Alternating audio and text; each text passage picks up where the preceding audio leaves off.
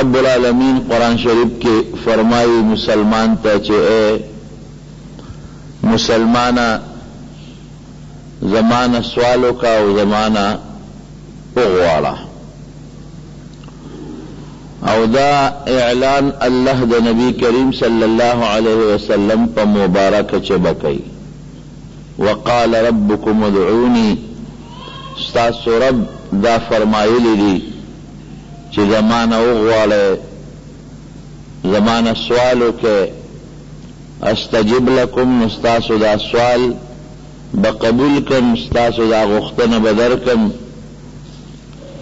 او بیا ورپسې الله دې دعا ته عبادت ویلی دی او زورنه ورکوي ان الذين يستكبرون عن عبادتي دعا دا عبادت ته چې څوک سوال نه کوي کبر کوي زما دغه عبادت نه قبلوي او ما نه غوښتنه نه کوي نو الله فرمایي سيدخلون جهنم داخرين دا خلک به خوار او ذلیل جهنم ته داخل شي. انسان نه چې غوښتنه کوې دی پرې خپه کېږي، که ورسره وي موت ته ترې غواړې نو بیا هم پرې خپه کېږي او الله په غوښتنه خوشحالېږي بلکې چې نه غواړې نو خپه کېږي دا فرق شو انسان سره به معلومي او ستا حق به هم پرې پوري که خپل حق ترې غواړې بیا هم خپه کېږي ورسره به ډېر شي وي او چې ته ترې غواړې نو بیا هم خپه کېږي او رب العالمين نه چې نه غواړې خپه کېږې، وي ما نه خامخا غوښتنه کوه، ما نه غواړه، که نه غواړې نو بيا خپه کېږم. نبي کريم صلی الله عليه وسلم دعا ته د عبادت مغز ويلې دی، ځکه څومره عبادتونه چې دي دا په دعا مشتمل دي، دعا د الله په دربار کې د خپلې عاجزۍ اظهار دی.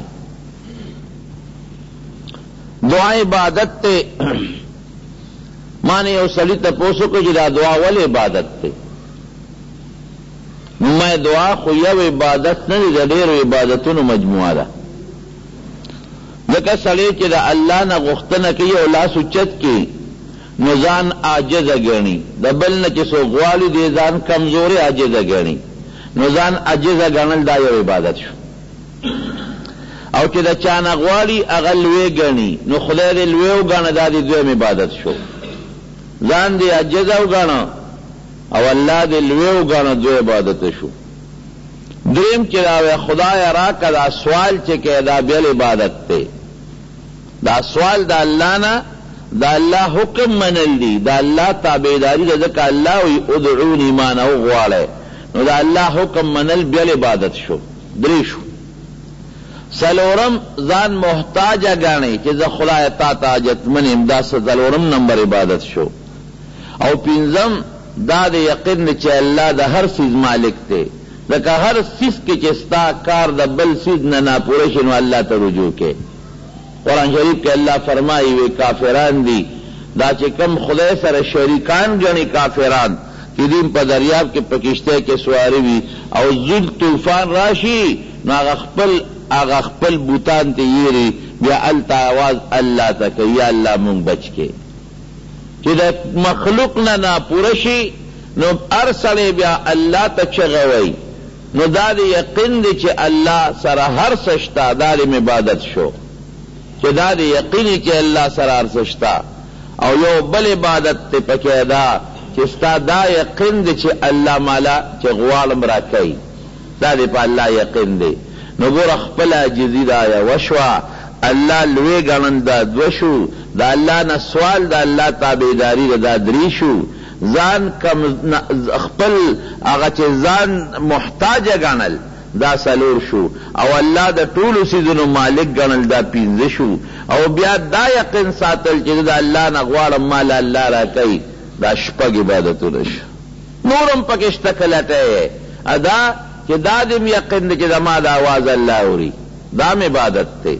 او دا دې هم یقین دی چې الله هر ځای موجود دی او په مه علم شته، دی هم عبادت شو، نو که مونږ دا لټوو نو د اتو عبادتونو مجموعه ده دعا، ځکه نبی کریم صلی الله علیه وسلم دعا ته عبادت ویلی دی او د عبادت مغز یې ورته ویلی دی، ولې ورته د عبادت مغز وایي؟ ځکه دعا کې عاجزي ده او چې ته څومره عبادتونه کوې بې د عاجزۍ نه نامکمل دي، که مونږ لمونځ کوو نو لمونځ په دعا او په عاجزۍ مشتمل دی او که ته حج کې هغه ټول عاجزي عاجزي ده او که روژه نیسې نو دا دې د خپلې عاجزۍ اظهار وکړو چې خدایه زه ډېر کمزور یم چې ته وایې لږه تنده تېروه ستا لپاره تېروم زورور سړی داسې چا نه کوي چې څوک ورته وي لږه تنده تېره کړه او دی تېروي او مال ورکول دا هم دعا ده دا هم په دعا مشتمل دی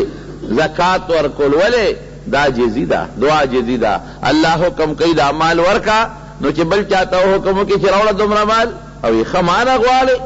ته به راوړې او چې مونږ الله وي دومره حصه ورکه دومره ورکه او مونږ وایو ښه الله ورکوو دا تا د خدای په جناب او په دربار کې ځان عاجز وګڼو نو چې څومره عبادتونه دي بغیر د عاجزۍ نه او بغیر د دعا نه او بغیر د الله د طلب نه هر عبادت کې د الله طلب دی، هر عبادت کې الله ته رجوع ده، بې د دعا نه ټول عبادتونه نیمګړي دي، ځکه حضور پاک مبارک دعا ته د عبادت مغز ویلی دی. زما وروڼو دعا چې سړی کوي د دعا د پاره یو څو شرطونه دي، یو شرط خو د دعا دا دی چې زړه به حاضر ګڼي، ځکه حدیث پاک کې راځي نبی علیه السلام فرمایي ان الله لا یقبل عن قلب لاه غافل چې د انسان زړه غافل وي او دی الله ته سوال کوي دا دعا خدای نه قبلوي لکه مونږ یو ګردان جوړ کړی دی یو ګوټم لګولې چې مونږ کو خدای مو بخې مو پلار او فلان کې فلان کې اخره پورې او ټکی وایو اس خبر نشو چې مونږ سو وې د زړه نه نه ده د خولې نه دعا ده نو چې د زړه نه دعا نی او د خولې نه دعا ای دا خدای نه قبلای حدیث کې راځي ان الله لا يقبل خدای نه قبلای عن قلب د هغه زړه نه چې هغه غافلی توجه یې نی زمونږ د زړه توجه نی گردان او یو ګوټه رټم لګولې ده بس اقه په خلو وایو او مونږ وایو دا خدای قبول نه کړله نه د زړه نه دعا دې ونه کړه بلکه یو حدیث کې راځي چې دا کومې دعاګانې د زړه نه نه دي دا بر الله ته چې وخېژي نو فرشتو ته الله وایي دا دې سړي له په دې مخ واپس ور وغورځوئ. نو د دعا د پاره یو شرط دا چې د زړه نه به دعا کې یو بادشاه په لاره روان یو سړی په سترګو ړوند دی ناست دی د دې سوال مختلفې طریقې دي نو دا سړی په دې بازار کې چغې وایي خدایه سترګې یا خدایه سترګې دې کې غرض نه و چې سترګې دې ماته واپس شي خو غرض یې دا و چې خلک زما دا اواز اوري چې دا سړی خو ړوند دی نو څه پیسې به راکړي نو چې خلک به تلل پیسې به یې ورغوځولې بادشاه هوښیار و اپاس سورو چې اواز یې واورېد یا خدایه سترګې وي دا څه معنا وی دا صاحب یو ړوند دی او د ډېرې زمانې دغلته ناست دی سوال کوي او دا چغې وایي چې خدایه سترګې نو خلک پیسې ورکوي. وې کوم ځای ناست یې؟ وې هغه ځای. وې ړوند د څونه مودې نه چغې وهې چې خدایه سترګې وې صیب د دومره کالو نه او سترګې درته ملو نه شوې؟ وې نه. وې ښه زه واپس راځم که سترګې درته نی ملو شوې نو څرمن دې وباسم وجنم دې او سپی یې پرې مقرر کړه چې دنه ونه خوځې سړی درنه ونه تښتي. چغې جوړې کړې خدایه سترګې.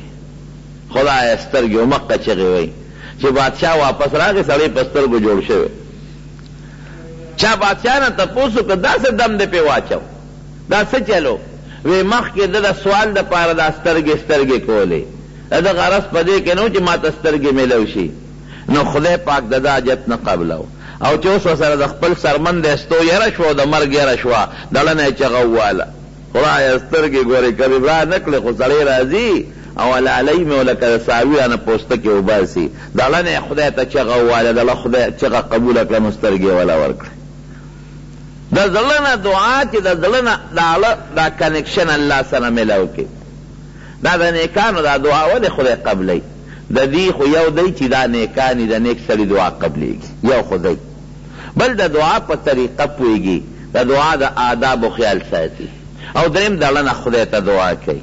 او د عبادت نه پس دعا کوي، په مخصوصو اوقاتو کې دعا کوي، نو ځکه خدای د دې خلکو دعاګانې قبلوي، د ړنه دعايي. دا ړنه چې دی د حضور پاک دعاګانې به ولې قبلېدې؟ د زړه نه به دعا وه، الله سره ډایرکټ کنکشن به و بس، نو چې خدای سره دې څومره کنکشن او تعلق نږدې کړ، هغه مره به د خدای دعا زر قبلوي. حضرت ابو هريره رضي الله عنه مور وه، مور يې کافره وه، مشرکه وه او حضرت ابو هريره خو صحابي دی جليل القدر چې کور ته به لاړ مور به ورپسې چوکه راواغېسته، وي دا د پلار نيکه دين دې پرېښی دا واپس قبول کړه، ای مورې! ما خو ډېر ښکلي دين قبول کړی دی، زه خو يو الله منم. او دا کومو بتانو ته چې تاسو سجدې کوئ دا خو هم د لاسو جوړ کړي دي، دا نه خیر در کولی شي او نه دنه شر د په کولی شي. ابو هریره سم شه ګورې چوکه به یې راواغشته او زه دې پرېږدم نو مور که ډېره هم بوډۍ وي د غوزار نه مي خو په بچي وسبري او بچی ورته صبر کوي. څپېړه به یې ترې کله وویسته. یو ځل کور ته لاړ مور ورته غوسه ده. وی ته بیا ناست وی د نبی علیه السلام نوم یې واغشت هغه سره د ښې توښې نه وویستی او رالی کور ته او تا د خپل پلار نیکه دین پرېښود او د پردي سړي دین دې قبول کړ ورپسې چوکه راواغېسته ابو هریره ترې رامنډې کړې ځکه مور د د مور به احترام کې دا ورپسې دومره سرتېزه و لارې ته راووته دې ته جومات ته را په منډه شو هغه ورپسې جومات ته راغله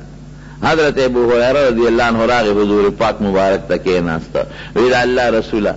زما دې مور سره به څه کوو؟ زه خو چې کور ته ورشم نو ما ته سپکې وائي، تاسو ته سپکې وائي، خدای پسې سپکې وائي،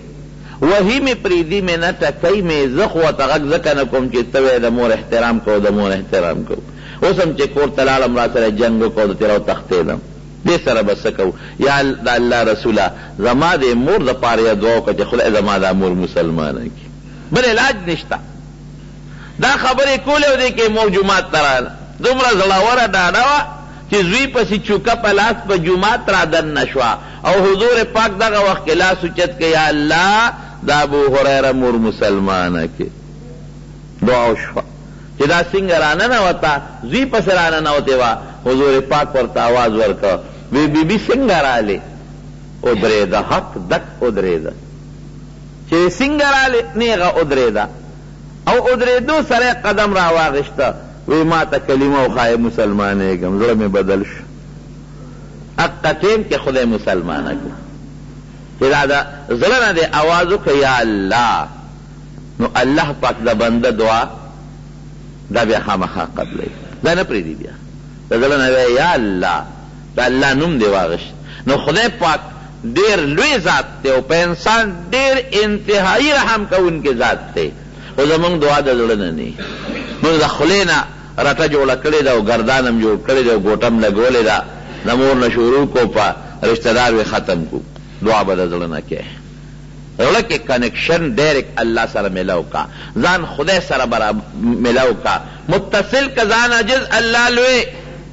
خدای زه عاجز یم ته لوی ذات یې خدای زه ناپوره یم او ته پوره یې الله زه په غوښتو خوشحالېږم ته په ورکه خوشحالېږې خدای دا کار مې بې ستا نه نه پوره کېږي دا به ته پوره کې او دا زما یقین دی چې د ما دا خبرې اورې او په ما د علم شته په داسې مینه محبت د الله نه سوال وکړه خدای به سوال قبلوي نو یو شرط د دعا دا دی چې د زړه نه به کېږي دویم شرط د دعا دا دی رونو چې کوم سوال ته کې د الله نه دعا نه د ګناه مه کوه د نیکۍ سوال وکړه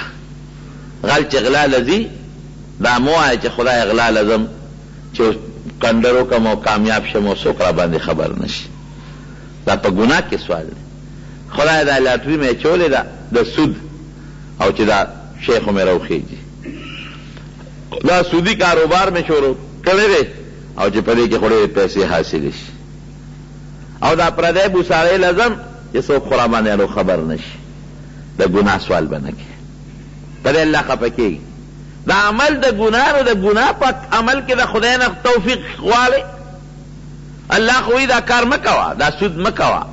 دا بدعملي مه کوه، دا پردی ډاکه مه کوه، دا لاتري جواري مه کوه او ته د الله دښمني هم کوې، د الله مخالفت هم کوې، خدای راله هم کوې، ستا دښمني کوم او په دې دښمنۍ کې مې کامیاب کړې، څومره خطرناکه خبره ده. یو سړي ته مخامخ وایي چې تا پسې ډز کوم او یو کالتوس راکړه چې پکې درته واچوم، ته به خفه کېږې خو ښه ما باندې ډز هم کوې او ما نه کالتوس هم غواړې. نو ته الله باندې ډزم کې په خپل سوچ کې د الله زړم خپه کې ګناه کې ګناه باندې الله خپه کېږي او بیا به خدای توفیق هم راکې داسې به چرې هم نه کې ناجایز سوال به نه کې حضرت موسی علیه السلام یو امتی موسی علیه السلام دراغې وی چې یاره د الله پیغمبر یو سوال زما د الله نه وکړه ځکه پیغمبر مستجاب الدعواتی دعاګانې قبلیږي یو سوال وکړه چې زما متعلق په مستقبل کې راتلونکي زمانه کې څه کار کیږي چې زه ترې مخکې خبرېږم دا علم زما حاصل شي هلکه دا څه خبرې کوې وې نه که نه چې ما ته پته لګي چې په دې تجارت کې مې ګټه ده نو کوم به چې پته لګي چې تاوانې نه به کوم چې ما ته مخکې نه پته لګي چې دا فلانکې شی واخلم دا ما له بهتر دی نو اخلم به او چې راته پته ولګي چې دا اخیستو کې تاوان دی نو نه به اخلم چې دا دې کې خو زما ډېر لوی خیر دی حضرت موسی علیه السلام الله ته رجوع وی الله دا زما یو امتی دی او دغسې سوال کوي وی دې کې خیر نشته الله خیر دې زه درخواست کوم ولې قبوله ګوره پوه یې که خیر یې پکې نشته، دا د مستقبل څیزونه چې الله د انسان نه پټ ساتلي دي په دې کې ډېر حکمتونه دي، ته کې خیر نشته دا دې نه غواړي الله خیر دی ډېر نږدې امتي مې دی او خپه کېږي ته ولا قبول که خیر دی ښځه قبول مې که د ده متعلق چې به سبا بل ورځ کوم کار کېده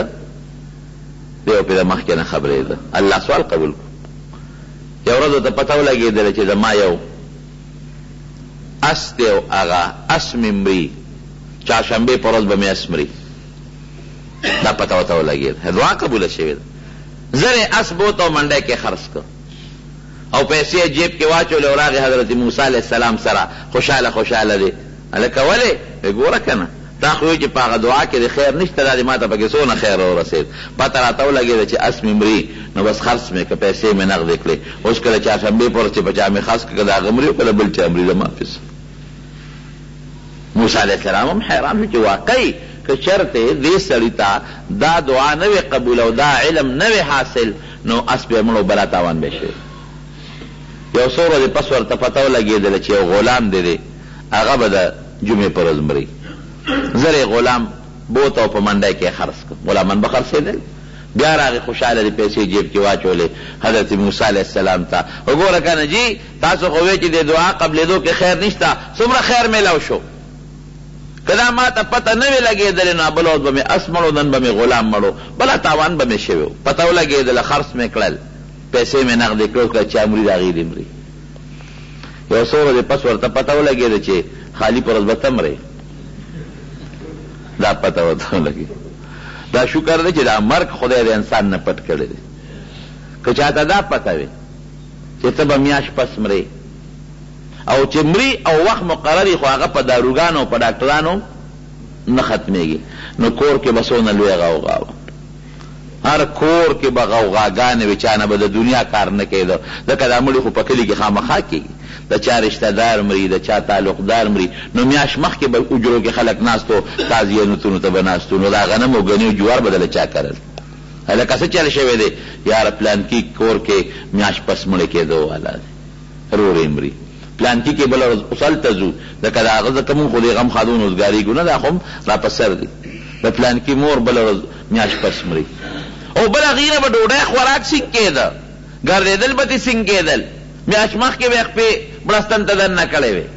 او لوی تعزیتونه به او قصې پسې به یې ولې میاشت پس به مرم دا خو د خدای ډېر لوی احسان دی نه به د چا نه کاروبار کېده نه به بچو سره مشغولا کېدله، نه به د چا ډوډی تېرېدله او په ټول کلي کې او ځای کې به غوغاګانې به وې. دا خو د خدای فضل دی او د الله احسان دی چې دا مرګ خدای د انسان نه پټ کړی دی.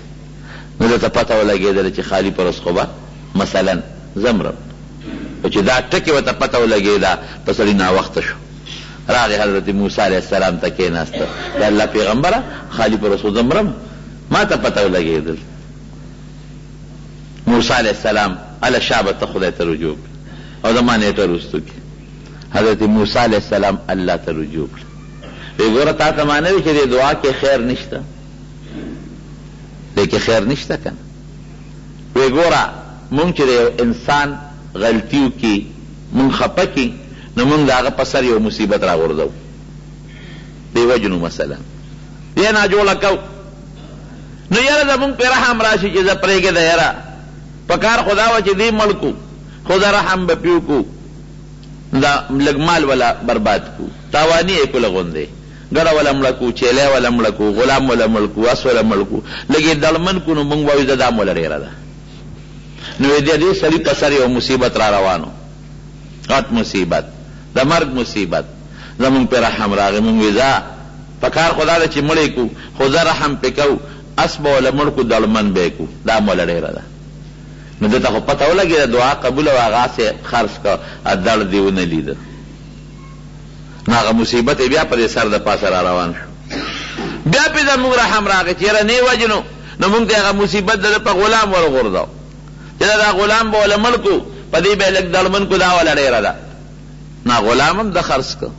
نو هغه مصیبت یې اوس په سر د پاسه پروت دی، بل څه شته نه چې موږ یې پرې ور وغورځوو. نو بس ورته وایه چې اوس په کفن کې خپین غاړه خامخا به مرې. که دا دعا د ده نه وه قبوله، خو اس پرې مړو خبره خلاصه وه که نه؟ خدای دړمن کوه، بس دغه دړ وله ډېر و. نو د ګناه سوال به چېرې هم نه کوې، ته دې الله خفه کېږي. قطعا به داسې سوال نه کوې چې هغه د خدای د دښمنۍ د کار سوال وي، د سود د کامیابۍ، یا د دنیا د نور د ناروا او د ګناه د سفر سوالی دا سوال به د الله نه نه کړې په دې الله خپه کیږي نو چې الله په کوم کار خپه کیږي او په هغې کې د خدای نه امداد غواړې چې خدای تا خپه کوم را سره پکې امداد وکا دا دې ډېرې لوی غټې دشمنۍ ته بړې ووالې دریم څه دي دریم دا چې اسباب به خپل جمع کې داسې به هم نه کې چې څه کار روزګار نه کوې او بالښت ترې ډډه والې ده، وایې خدایه دا پټی خو کرم نه خو ډېر غنم پکې راله زرغون کړه.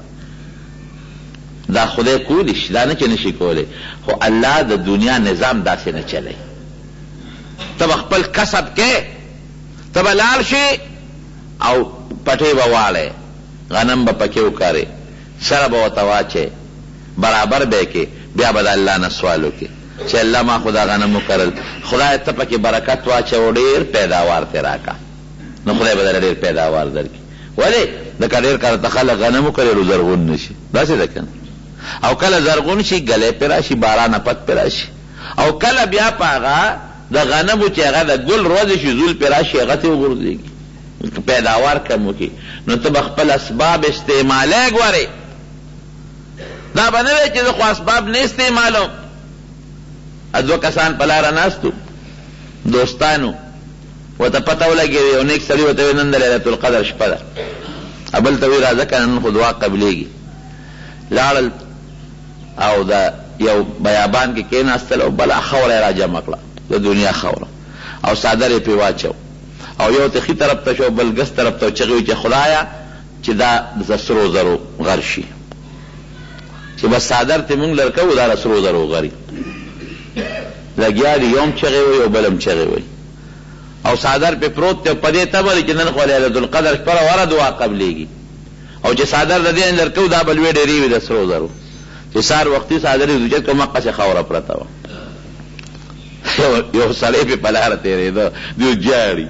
یو د خاورې ډیري د یو خوا نه ډډه والي ده او بل بل خوا یو بل ته شا کړي دي او جاړي. انیک سړی پرې راغی ورته یې لکه ولې؟ یاره وي بېګا دې د ليلة القدر شپه وه د ماښام نه هم دا خاوره جمع کړه ورته ونښتو او چغې وو خدای ته دا مولیان وایي چې دعا قبلېږي نو موږ پې څادر واچو ټوله شپه هم جوله کړه دعا خو زموږ هلو قبوله نه شوه دا خاوره همغسې خاوره پرته ده او ورته په جواب کې وایي وې دې کې به خیر و لکه یو انسان ته د وینا وي دې کې به خیر و څه خیر و پکې همغه خاوره خاوره پاتې نو دې کې څه خیر دی خیر خو به نه و چې دې نه سرو زرو چمان جوړ شوي خیر خو به هغه وخت کې و وی ګوره دې کې به خیر و خیر په دې شان به و چې لاول خو خدای داسې کوي تا له خدای لاس درکړي دي عقل یې درکړی دی او خپې درکړي دي نو چې سره زر د خوښتي د مال طلب پسې وځه او د خدای نه سوال وکړه نو خدای به مال درکړي هله خو خدای لاس پرې درکړي دي کنه ډیر خلک د سرو زرو مالکان دي او دولت مالکان دي نو دا خو د مور د ګیرې نه سره نه دي پیدا شوي دا خو دې محنت کړی دی خدای ورته تاسو محنت کړو الله به درکړو دعا به هم کوله او ممکن ده ممکن ده چې دا د خدای د سرو زرو ډېرې کړې وي الله کولی شي نو بیا به هم په یو بل سره جګړه وه تا به وې ستا تا ډېره واغېشته، بل به وې ده ډېره واغېشته او ممکن ده چې درېیم در باندې در پېښ وی درېیم او دواړه یې په دې ځای بېغمه کړی او شی دی ناغه وړی وو. نو هغه څیز اسباب به خامخا جمع کړې. او یو بزرګ له یو سړی لاړه نو ورته وی ما ته دعا وکړه چې ما له خدای زوی راکړي. هغه بزرګ ورته وی واده دې کله کړی دی؟ وی واده خو مې نه دی کړی. هلکه واده دې نه دی کړی زوی غواړی نو وی که واده مې کړو نو بیا ستا دواده پکې څه حاجت و او بې واده زوی غواړو نو چې بې واده دې نه دی کړی نو ته څنګه زوی غواړی اسباب ته استعمال که خپل نو بیا هم الله داسې کوي چاله زوی ورکړي او چاله ورنکړي یهب لمن یشاء اناثا ولمن یشاء چا له خو ذکور نارینه ورکړي او یزوجهم ذکرانا و اناثا چا له خدای دواړه ورکړي ویجعل من یشاء عقیم او څوک خدای شنډ کړي نو واده وکړه ته خپل اسباب برابر کا نو بیا د ابوذر نه هم دعا غواړه او بیا د الله نه هم دعا غواړه وایه خدایه ما له زوی راکړې ما له اولاد راکړې نو الله به دله اولاد درکړي نو اسباب به جمع کړې نبی کریم صلی الله علیه وسلم یو صحابي دی حضرت مقداد رضی الله عنه د صدق د چیلې ګډې چیلې وي نو حضرت مقداد رضی الله عنه پاغه مخ ماسخوتن او هغه په دې فقیرانو لور کوا مسکین لم ور د پاره پرې خودل نسل کو یو ځل ماسخوتن حضور پاک مبارک نا وخت کړ حضرت مقداد رضی الله عنه دا سوچ وکړ چېرې کېدی شي پیغمبر علیه السلام د چا میلمه شوي یا ممکن ده د مانځه نه نیغ کور ته تللي ما پیغ وسکل چې پې وسکل د هغې نه پسې سوچ راغلی دی چې یاره هسې نه ما خو هغه پې خلاص کړل ومې سکل هسې نه نبي علیه السلام محتاج یې پیو ته چې ته رانه شي نو غریب له بیا خوب نه ورته هسې نه هغوی د پیو په تمه راشي او پی خو مه وڅښل نو سا دې کې د نبی علیه السلام د راتلو کشې وورې ډېر پریشان دی غمجن دی نو زر یې په ځان باندې څادر واچو د حضور پاک مبارک دا عادت و چې هغه به چاله تکلیف نه ورکو عایشه بی بی فرمایي چې ناوخته به کور ته راته او مونږ به ودو نو د دروازې تمبه به په داسې طریقه لر کړ چې مونږ به نه ویښولو او که چرته به د شپې دی پاسید او بهر ته به وته نو تمبه به په دارس طریقه کولاولو او زنځیر به په داسی طریقه کولاوه چی مونږ به نه ویښولو ها که د مانځه وخت و نو بیا به پاسول د مانځه وخت له به بیبیان هم پاسولی او که میلمه به میلمه به هم پاساو او چی داسی به نو چاله به تکلیف نه ورکو وی ناوخته و نو وی حضور پاک تمبه کولاو کړه په قلاره غوندی نو یې یو کټوی له ورغې سر اوچت کړ پکې پین و،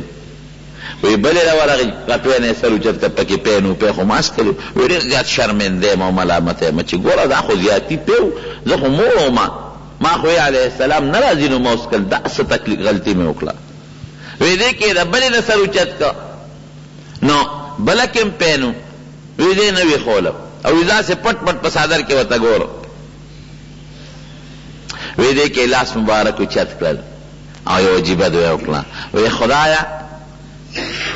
که زه چا موړ کړم نو خدایه ته یې موړ کړه داسې نه وي چې خدایه ما له پی راکړه ور دې ټکي ته وګوری که نه که داسې وي چې خدایه پی راکړه هم څه بده خبره نه وه لیکن وای چې یا الله که زه چا موړ کړم که زه چا سیراب کړم نو خدایه ته یې موړ کړه او ته یې سیراب کړه مطلب دا دی اسباب یې پکې جمع کړل د بل چې مې مړی خو دا بل مې سبب شو که نه چې دا بل اوبه راکوي خو دی مې سبب شو حضرت مقداد رضی الله عنه وایي چې د حضور پاک دا دعا مې واورېده وایي پوه شوم چې خدای به دې ګړو چیلو کې اوس پیرا پیدا کوي حالانکه ما ته لږ ساعت مخکې پې غشتي غولانځې وچې وې وایي بس څادر مې وغورځو ورمنډه مې کړې په ګړو چیلو د حیا نه مې حضور پاک مبارک سره سترګې مخامخ نه کړې وې چې ورغلم د ګډو غولانځې او د چېلو غولانځې له پایو نه ډکې وې وې یو مې ولشلو کاسه مې ترې ډکه کړه او نبي کریم صلی الله علیه وسلم دې پیش کړ چې د الله رسوله واخله دا پرې وڅکل نو اسباب به جمع کې تدبیر به خپل کې ډیر خلک کی اگر تا تم راځي او ما تم راځي او بل تم راځي یره جی دعا راته وکا چې ما باندې خو مال خدای حج را باندې خدای وکي ما خدای حج لبو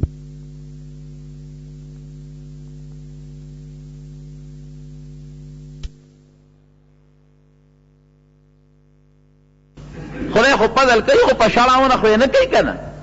خدای پاک د مالټې په ونه فضل کوي نو پکې مالټې را پیدا کړي خدای پاک د بکیانې په ونه کې مالټې پیدا کولی چې خو دغه خدای نه کوي کولی شي خو نه کوي خدای د غنم په ډنډري کې غنم پیدا کوي خدای دا سپلمۍ په بوټي کې غنم نه پیدا کوي، کولی شي خو نه یې پیدا کوي. خدای دا خدای فضل نه شي کولی؟ دا هم خدای کولی شي چې په بکیاڼه کې مېوه پیدا کړي، بکیاڼه کې درله مالټې پیدا کړي، په بېره کې درله مالټې پیدا کړي، په شنډۍ کې درله مالټې پیدا کړي، په سوپیدارو کې درله مالټې پیدا کړي. داسې الله کولی شي که نه شي کولی؟ دا فضل دی، لیکن خدای دا عادت نه دی داسې نه کوي. نو د خدای دا عادت نه دی داسې نه کوي، فضل په هغه چا کوي چې څوک خدای ته ځان نږدې کړي. بې شک بغیر د خدای د فضل نه نه ده، د خدای په فضل به حج له ځې، خو فضل ته ځان برابر کړه کنه، چې خدای در باندې فضل وکړي کنه، چې ته پیسې نه راوباسې او داخله نه کوې، ځان د خدای فضل ته نه تیاروې، وایې په ما دې خدای فضل وکړي، داسې نه کېږي. اسباب به استعمال اسباب استعمال کا ممکن ده یا به داخله راشي یا به دې رانه شي. منظوري به دې وشي يا به دې ونه شي، ممکن ده ناجوړه شې او هغه ځای ته ونه رسېږې، ممکن ده بل څه عذر پېښ شي، نو ته خپله داخله وکړه، خپل اسباب استعمال کړه، بيا د بل نه هم دعا غواړه او پخپله هم دعا وکړه، اې خدايه ما بيت الله ته بوځې، بل ته هم ووايه، اې خدايه اې پلانکي ما لپاره دعا وکړه چې ما خدای بيت الله ته بوځي، نو بيا به خدای فضل وکړي. دا خبره درسته ده، ويره خدای د فضل نه نه کېږي، خو موږ د خدای د فضل نه بتښتو، د خدای نه به فضل غواړو، د خدای فضل ته به سر ور مخامخ کې کنه نو اسباب به جمع کې ته به خپل اسباب اختیار کې بیا به د الله نه سوال وکې او که ته اسباب نه جمع کې او د الله نه سوال کې هېڅ قسمه اسباب نه استعمالوې او خدای زما دا کار وکړه نو الله کولی شي خو داسې نه کوي د عادت نه دی بله دعا شرط سره چې موږ د الله نه سوال کوو دعا کوو ادا دی چې نیکانو ته ووایه چې دعا دله وکړي د نیک سړي دعا قبلېږي حضور پاک له به صحابه کرام رالل او ورته به یې وې د الله رسوله ما له دعا وکړه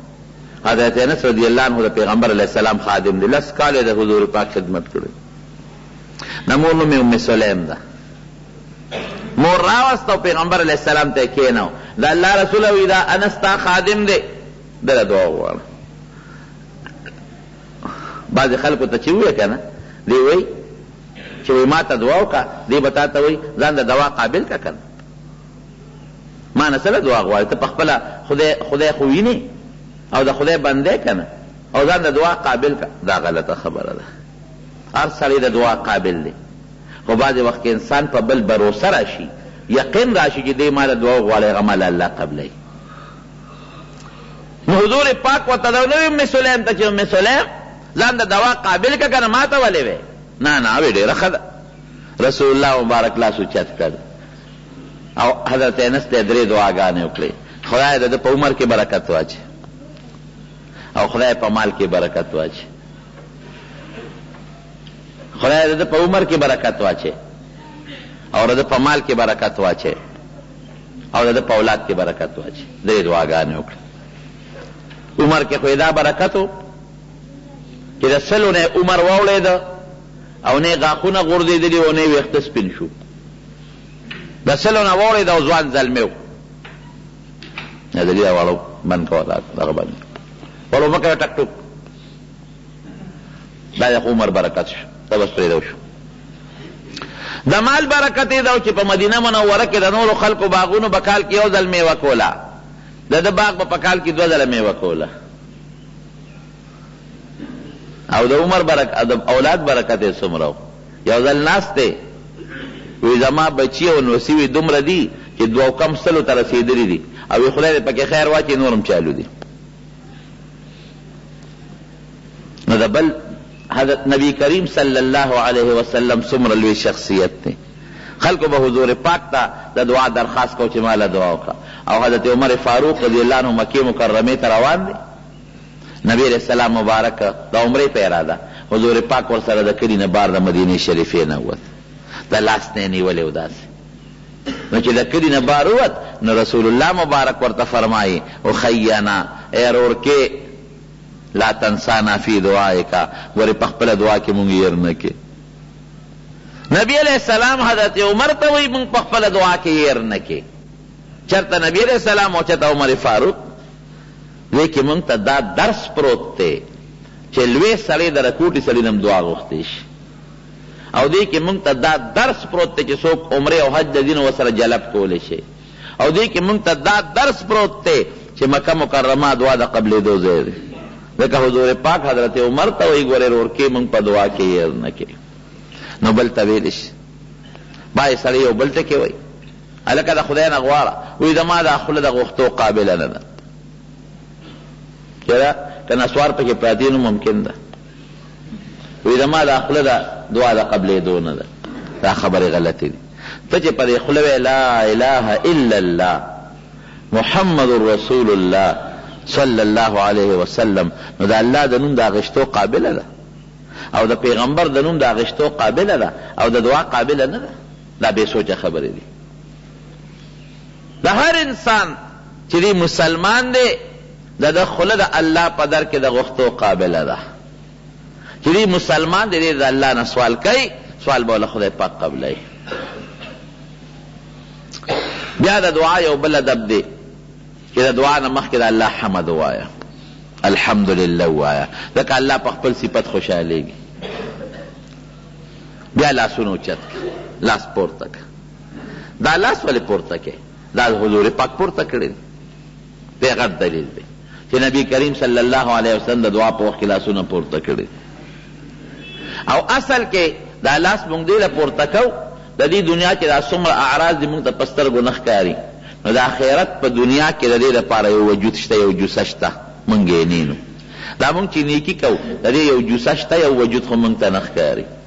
دا رنګ دا مونږ چې دا دعا کوو د دې یو جوسه شته یو وجود شته او مونږ ته نه ښکاري دا لاس مونږ دې لپاره اوچت کړ چې هغه جوسه او وجود الله زما په دې لاس کې راوغورځوي زه چې څه غواړم چې هغه زما په دې لاس کې راوغورځوي دا مونږ خو یو وجود لري خو مونږ ته نه ښکاري هغه وجود بیا خدای دا قیامت پر ورځ په تله د میزان کې واچوي دا یو وجود لري مونږ ته نه ښکاري نو دا تا لاس اوچت کړ مطلب دا چې خدای زه څه غواړم دا زما په دې لاس کې واچوه او بیا به دا لاسونه په مخ راکاږي ترمذي شریف کې حدیث دی چې صحابه به لاسونه پورته کړل په دعا کې الله ته ثم یمسحون بهما وجوههم او بیا به دا دواړه لاسونه په مخونو باندې راښکل مخ د انسان بهترین اندام دی شریف اندام دی دا مخ د عزت اندام دی په دې مخ دی د حیواناتو نه جدا پیژندل کېږي او د مخ په ښکلا یو بل نه تمیز او فرق راځي نو دا په دې مخ راکاږه دا داسې شو لکه چې ټول وجود باندې دا شی راښکه ښه لاس به څونه اوچته نو په عامو دعاګانو کې حضور پاک مبارک به لاس دومره اوچتول مولانا عبدالحی صاحب رحمت الله علیه لیکلی دی وی داسې لاس اوچت کړه چې ستا دا ګوتې ستا دې تندي ته مخامخ شي دا ګوتې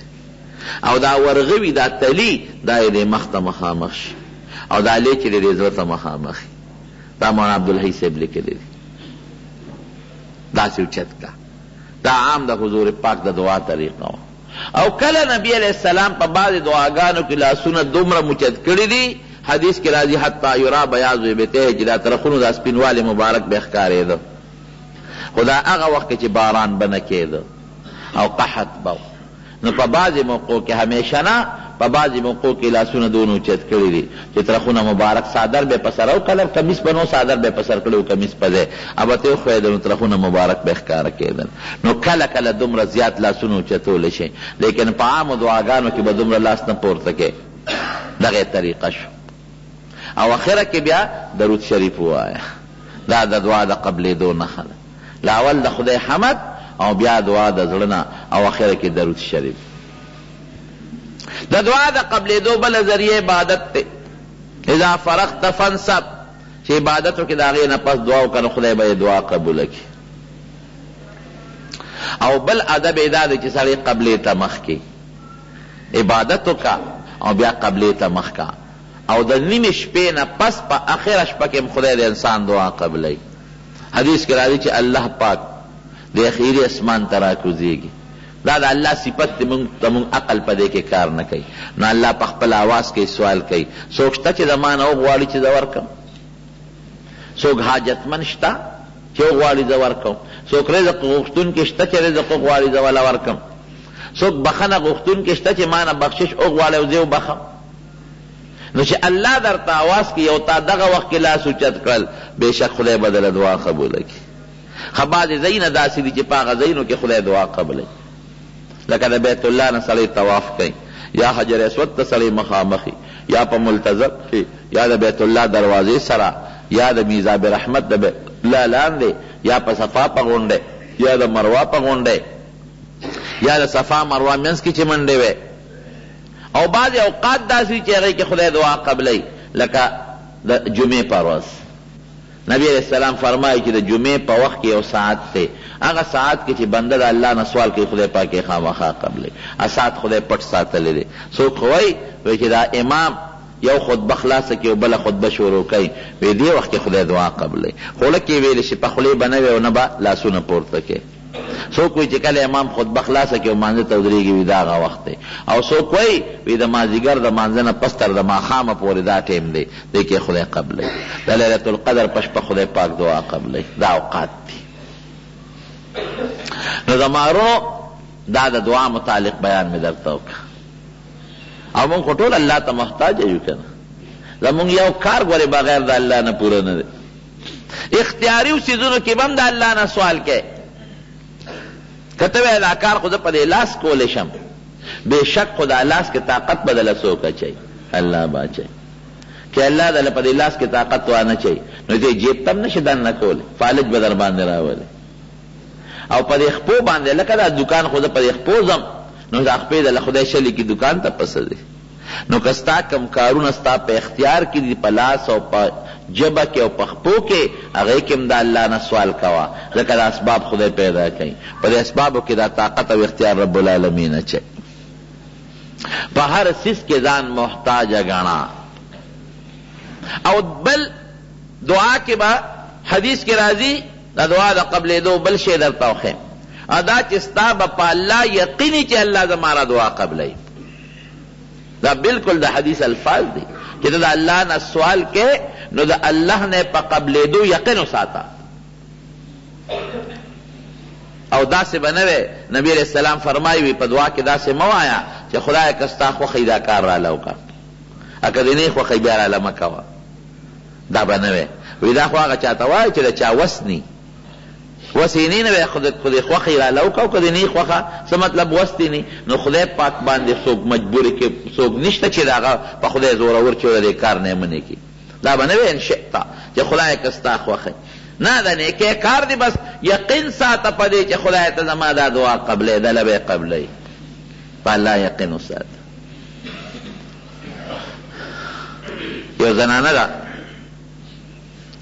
خپل خاوند ته وایي خدای ولا زوی ورکړ خاوند ته وایي وی سړیه د دې بچي په الله یقین نه پیدا کوم وی څه مطلب وی چې داسې یقین د ده جوړ کوم چې د ده دا پوره کلک یقین چې دا ډوډۍ او جامه او مرګ او ژوند او صحت او بیماري ټول د الله په اختیار کې ده وی ښځې داسې به څنګه وی که ته یې ما ته پرېږدې نو دا کار زه کولی شم وی ښځه رومې سپاره نو دا مور دا ماشوم پټېني بچي ته وایي، بچې ډوډۍ موږ له خدای راکړې، بچې اوبه خدای راکړې، بچې جامه ګورې الله راکړې، بچې ژوند الله ورکوي، مرګ، روغ، صحت، بیماري، مرض دا ټول د الله په اختیار کې دي. یقینا همداسې ده که نه؟ دا به یې ورته ښودل. بچې چې کله ډوډۍ غواړې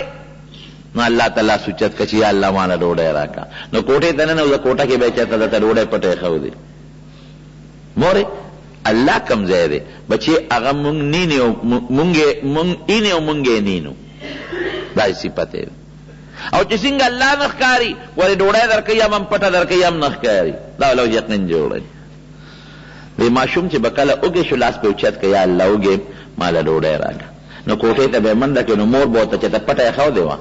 یا المارۍ کې یا په تاخ کې یا د بړستن تولۍ لاندې، نو چې سامان به یې ولټوه نو ډوډۍ به په کې راووته. اوږېمه، تږېم خدایه اوبه! لاس به یې الله ته اوچت کړ نو کوټې ته به یې منډې کړې نو مور به ورته چېرته منګی کوزه پټ ایښودی و څادر لاندې، ده به هغه اوچت کړ هغه اوبه به یې وڅښلې. یا الله جامې راله راکه نو دی به کوټې ته منډې کړې نو مور به ورته جامې چې ته پټې ښودې وې ده به راواغېستې مور ورسره خواري کوي دا یقین وله جوړوي لکه څنګه چې موږ نن د بچو یقین جوړوو موږ وله څنګه یقین جوړوو موږ چې سارې پاسو نو مخ وله زر ووینځو مونځ خو نشته مونځ نشته او هغه د انګریزانو پرتوګ ورته واچوو او هغه لکۍ شاته د خره وېځاندې یو مونږ یې وله مخې ته وېځانده کړو دا ورته ذهن کې واچو چې ګورې د عزت جامه دقه ده دا نوره جامه د عزت نه نه دا د عزت جامه ده او د پیسو د ګټې جامه هم دا ده ګورې نوره نه ده دا دا دا سکول کې په پبلک سکول کې په دې پرتوګ او کمیس کې سبق نه ویل کېږي دې کې څه چل دی دې کې خو ناسته اسانه ده منډه پکې اسانه ده حیا پکې محفوظ ده دا لباس مونږ ولې غوره کړو دا زمونږ انګریز دونه ولی خوښ دی او خپل پیغمبر هم نه دی خوښ زه ټیک د فوج او پولیس لپاره به ضرورت وي د هغوی د منډې لپاره به څه ضرورت وي نو دا لباس یې غوره کړی دی لیکن ماشومانو ته څه ضرورت دی چې مونږ په پبلک سکولونو کې هایي او په دې یونیورسټو کې دا لباس شرط کړی دی دینه بغیر جون نه تیریږي دینه بغیر په میس ناسته نه کیږي په کرسۍ باندې دینه بغیر علم نه حاصلیږي دا ولې موږ د خپل بچي د مغرب د تهذیب تابع کوو او دا خپل بچی مونږ هلته ولی دغه کوو د پیغمبر لباس هم ولی نه دی خوښ لا ول ورسره مونږ دا چل وکړو بیا ورته څه وایو بچی ګوره خر چې د خره کمه یې کنه ګوره غوږ یې د پرې کولو دی دا بل تربور ته دی وګوره دغه دی ګوره تعلیم یې وکړو او د دنیا پیسې ګټي او تکړه شه مونږ ورته ذهن کې دا واچو چې ګنې په تعلیم کې دا ډوډۍ ده علم پې وکړه، سکول پې ووايه، يونيورسټي، کالج، هر څه پې ووايه، خو دا ورته ووايه چې ګورې بچې! الله نه به ورسره غواړې، ته به قابل جوړېږې، خو ګورې د الله نه به ورسره دعا کوې، تا نه به ډاکټر هم جوړېږي، خو الله نه به ورسره سوال کوې،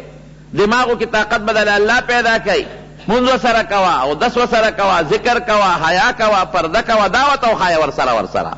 موږ هغه شی پرېښی دی. موږ ولا ذهن په دې جوړ کړی دی چې که دا شی وي ډوډۍ شته او که دا نه ډوډۍ نشته بهر کیف هغه مور هغه بچي له ذهن جوړی یو ځل یې مور چېرته رشتهدارانو کره تللې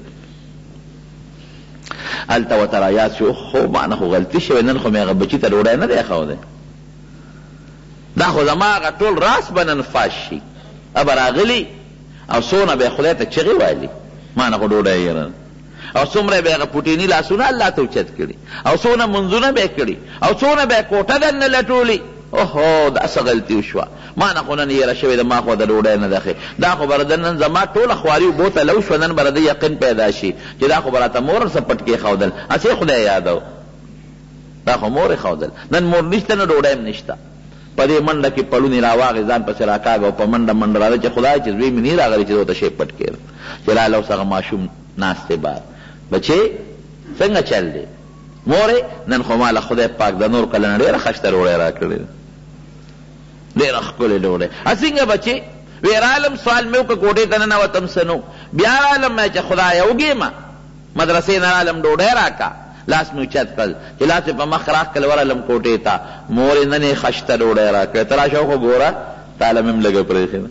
نور کله به یې تشه ډوډۍ راکوی نن ورپسې فروټ هم راکړي دي خوراکونه او نو ورپسې مشروبات خشته ښکلي جوسونه هم راکړي دي چې مور یې وکتل واقعي بچې دا د دې دنیا ډوډۍ نه ده لکه بي بي مریم له چې به الله ورکول انا لک هذا حضرت زکریا علیه السلام ورته وایي مريم دا د کومې رالل؟ قالت هو من عند الله دا د خدای د طرف نه دي، ان الله يرزق من يشاء بغير حساب الله چې وغواړي بې حسابه روزي ورکوي خو چې چا له وغواړي بس پېښه مور چې د ما د بچي کنکشن ولګېد په الله یقین مضبوط راغی او په الله باروسه راله هغه ماشوم لوی شو خدای ته څوک جوړ کړ قطب الدین بختیار کاکی رحمت الله علیه دا لوی شخصیت د خدای جوړ دی نو حضور پاک فرمایي چې اسباب استعمال کا دعا د الله نه وکا خو یقین په دې وساته چې دا زه څه غواړم ما له به الله راکوي دا یقین وساته ښه بعضې وخت کې مونږ وایو یاره چې مونږ خو ډېرې دعاګانې وکړې نه قبلېږي نو د قبلېدو مختلفې نښې دي کله چې ته څه غواړې خدای به هغه درکړي او چې کله یې غواړي په هغه ورځ به یې درکړي او کله به یې څه موده وروسته درکړي هغه وخت کې به د خیر نه او کله به هغه شي کې ستا خیر نی نو ابه د له خدای په هغې په ځای به د نه خدای ګناه وراجوي او کله به د له خدای دا دعا خیرت له ساتي په دنیا کې به په هغې کې خیر نی حدیث پاک کې راځي چې په بعضې انسانان هغې له به خدای په آخرت کې ډېر لوی اجرونه ورکړي دی به خدایه دا ثوابونه کم دی ما خو دونه نیکي نه ده کړې وایي دا ستا هغه دعاګانې وې چې تا وې نه قبلېږي نه قبلېږي ډېر وزر هم درله ساتلی وې دی به وي، خدایه! که زما ټولې دعاګانې په دنیا کې نه وې قبولې، څه ښه به وه. نو بعضې به خدای د له آخرت له ساتي. نو دعا به پرېږدې نه، دا به نه وای چې نه قبلېږي، د قبلېدو مختلفې طریقې دي. کله د دنیا مصیبت به درنه خدای پاک رد کړي. بعضې وخت کې سړی ذکر ډېر کوي، درود شریف. یو حدیث کې راځي، وایي ته زما ذکر ډېر کوه، کوه، کوه، کوه.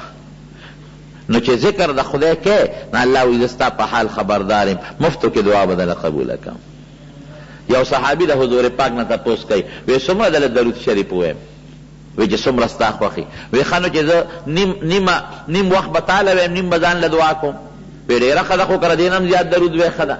وی ښه دوی سېټې به ځان له تاله درود ویم او یو حصه به دعا کوم وی دا هم ښه ده خو که دې نه زیات درود وی بیا هم ښه ده وې ښه نو دري سې به تاله درود ويم يوي سټيم به ځان له دعا کومه وې دا هم ښه ده خو که له دې نه زيات درود وې نو هم ښه ده وې بس ټول وخت به درله درود ويم حضور پاک وې ښه نو ستا غم او ستا تکليف او حاجت الله ته معلوم دی به درله خدای مفتو کې پوره کړي د مارونو په دعا کې نه سستي به نه کوې. خدای په غوښتو خپه کېږي نه بنده په غوښتو خپه کېږي الله په غوښتو خوشحالېږي او دمکی درکوي وقال الله ویلي رب وقال ربکم ربکم ادعوني ستاسو رب وایي مانه وغواړئ استجب لکم زه به هم دعا قبوله کړم در به کړم بیا دمکی درکوي که نه قبلې که نه سوال نه کوي ان الذین یستکبرون عن عبادتي چې څوک زما د دعا نه چې د عبادت دی کبر کوي او نه غواړي، سيدخلون جهنم داخرين، خوار او ذليل به جهنم ته داخل شي. بل د دعا وخت کې پکار چې سړی وژاړي او که چاله ژړا نه ورځي نو ځان دې د قصد ژړا غونې کړي، شکل د ژړا دې اختيار کړي. نو موږ ټول الله ته محتاج يو په هر څه کې ګوره زموږ دا بچي، رزق او زموږ د عزت او ذلت او روغ صحت او مرګ او جوړه دا د الله په اختيار کې دي. چې الله وغواړي هر څه ورسره شته، چې ونه غواړي هېڅ هم زموږ نشته، نو د خدای نه هر وخت کې او په هره ګړۍ کې سوالونه او دعاګانې کوې، دعا وکړئ الله خدای موږ له صحیح دعا توفیق راکړي، څومره دعاګانې چې مو کړې دي خدای هغه راله قبولې کړي او د شرونو او د مصیبتونو آفتونو نه هم پروردګاره په امن او امان کې وساتي، خدای چې څومره مریضان دي ته ورله شفا ورکړه، خدای چې څومره قرضداران دي د حلال او فراخ رزق یې نصیب کړي، الله زموږ د دواړو جهانو عزت نصیب کړي. او د دواړو جهانو د رسوایو نه مو ساتی خدای زموږ بچی د ګناهونو او د لوفرو نه ساتی خدای زموږ مشران چی څومره وفات دی مغفرت یی نصیب کړي او زموږ په حال رحم وکړي خدای دا مسلمانان دا امت د جګړو نه ساتی د حسدونو د فتنو نه مو ساتی او زموږ په دی وطن کی د قرآن او سنت نظام راولی او امن او امان پکی راولی.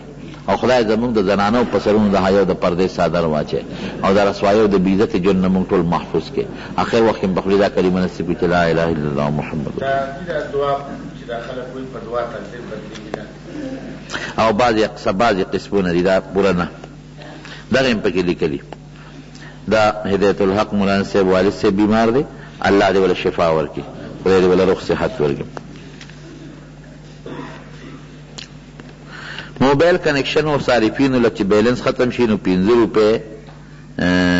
بیلنس ورکوي او کله پنځلس او بیا څلور فیصده بیلنس اضافي دا سود کې راځي او که نه راځي در حقیقت دا بعضې وخت کې دا خلک په دې موبایل کې دا بل شی مه چې ایزي لوډ ورته وایي که څه ورته وایي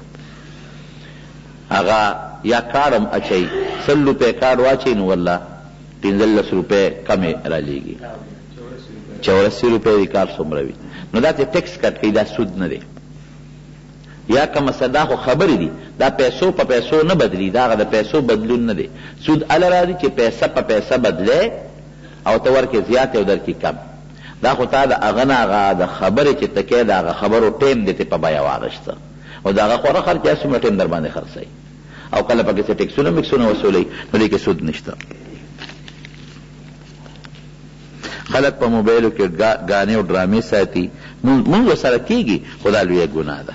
په موبایلو کې ګانې او ډرامې قصې پسې او دا بعضې رنګونه داسې وي چې هغه د سندرو په طرز باندې وي دا سخته ګناه او جرم دی بعضې وخت کې مونږ مخکې یو ځای کې یو په دغه ولاړو په مانځه ولاړو او داسې ناشنا شی شروع شو چې ټول خلک یې ګډوډ کړل په هغه مانځه کې نو دا د دې دا داس د ګناه کار مه کوئ ګوره خدای دې له غوږونه درکړه سترګې یې درکړې د دې غوږونو سترګو نه ښه فایده واله هغه فایده واله چې په سا الله خوشحالېږي